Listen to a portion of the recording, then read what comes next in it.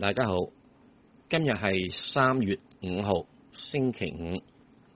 今晚咧，美國係有呢個就業數據嘅公佈嘅，即係無論佢公佈乜都好啦，我相信美國聯邦儲備局加息只係得零點二五厘，因為我一直都係認為美國聯邦儲備局係冇心對抗通脹，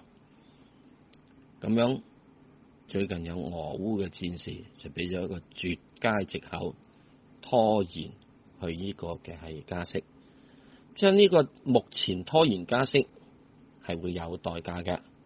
因為通脹一定會係再急劇上升。